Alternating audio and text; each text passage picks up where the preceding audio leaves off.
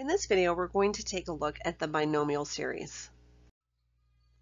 So the binomial series is one that we should be super familiar with already, and that's basically saying that if you have 1 plus x to some power, then we can find the coefficients using 1 and then k, which is the power, and then k times k minus 1 over 2 factorial, and then k times k minus 1 times k minus 2 over 3 factorial, and so on.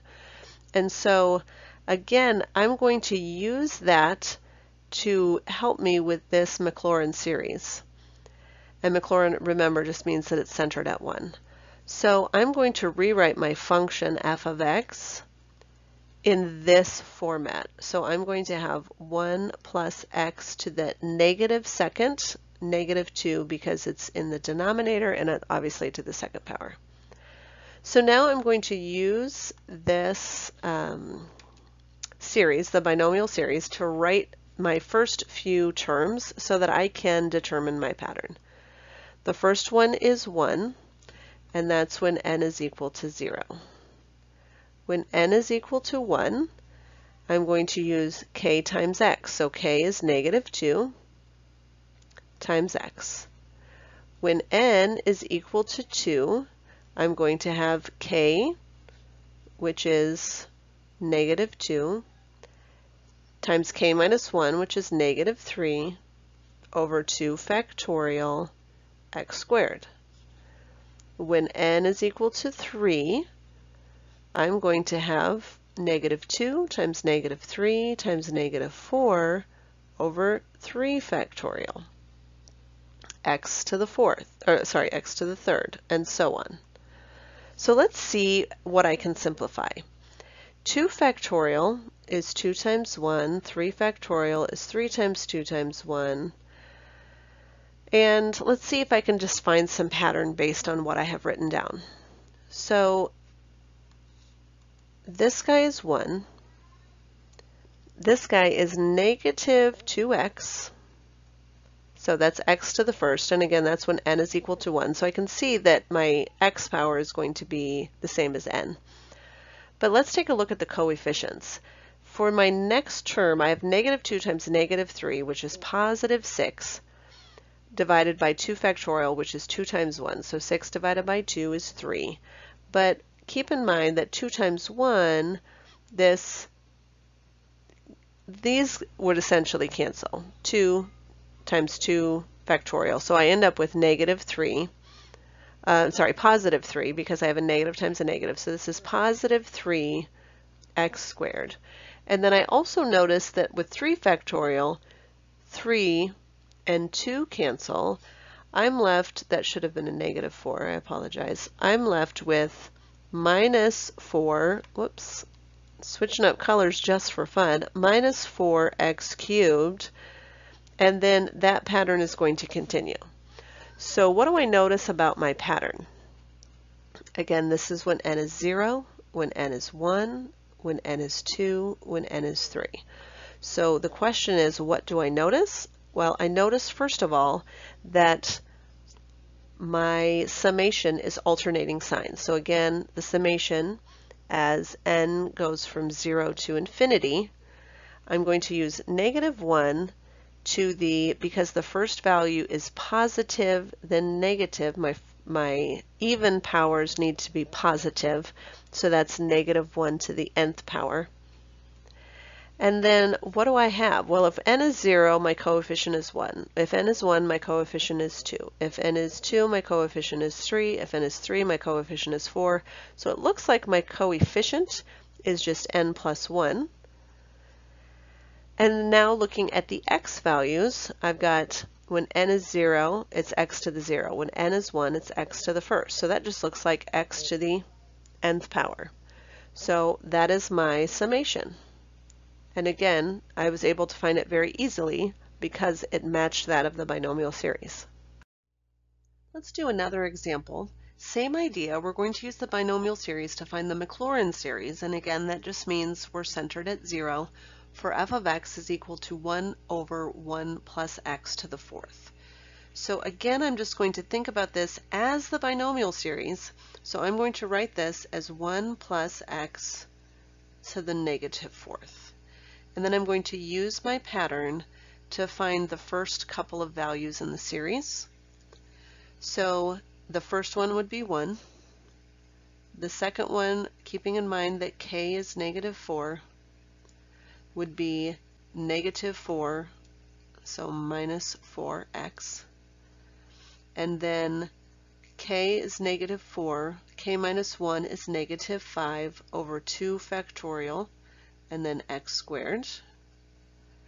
And then I would have negative 4, negative 5, negative 6 over 3 factorial x cubed, and so on.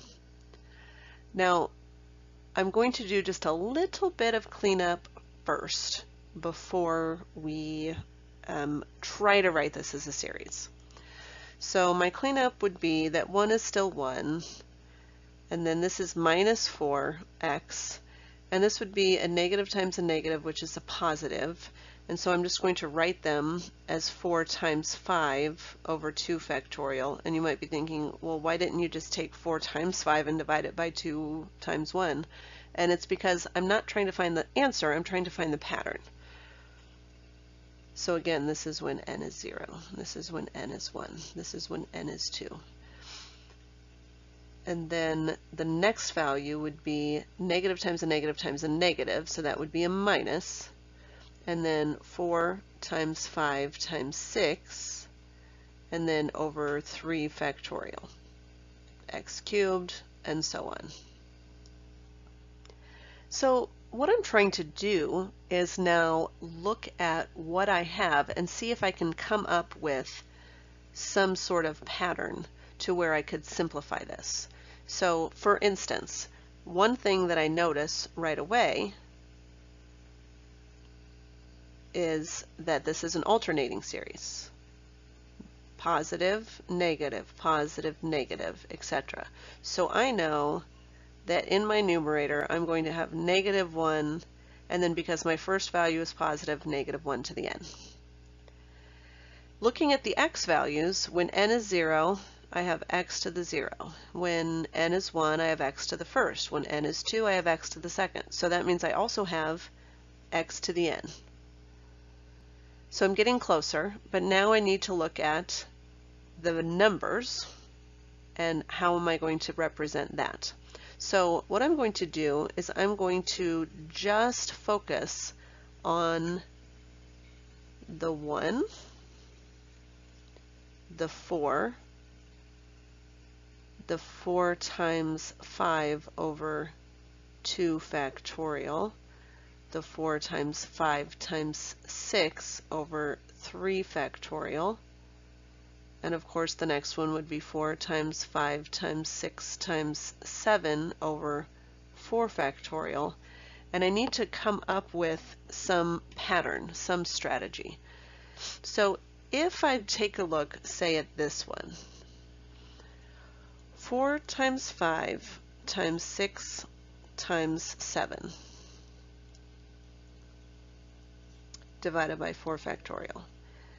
Now I know if I were trying to represent this, I could write 4 times 5 times 6 times 7 as 7 factorial divided by 3 factorial because this is 7 times 6 times 5 times 4 and then the 3, 2, 1 in the denominator would cancel out. And then I still have 4 factorial. So that's one way to think about it. Okay, and that's for n is equal to 4. All right, let's do the same thing here. 4 times 5 times 6 times, oh, just 4 times 5 times 6 divided by 3 factorial. Well, 4 times 5 times 6 can be rewritten as 6 factorial divided by 3 factorial because 6, 5, 4 would be divided by 3, 2, 1, but I still have this 3 factorial and this is when n is equal to 3. And when n is equal to 2, I have 4 times 5 divided by 2 factorial.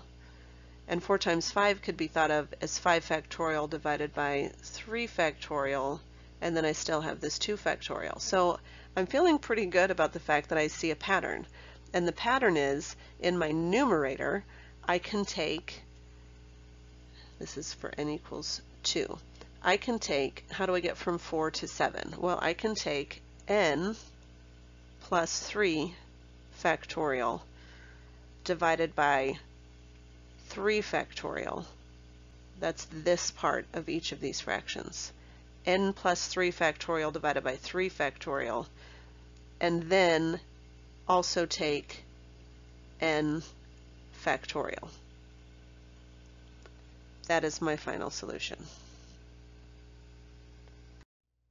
Coming up next, we're going to take a look at some well-known power series for elementary functions and talk about how to use those to rewrite other functions.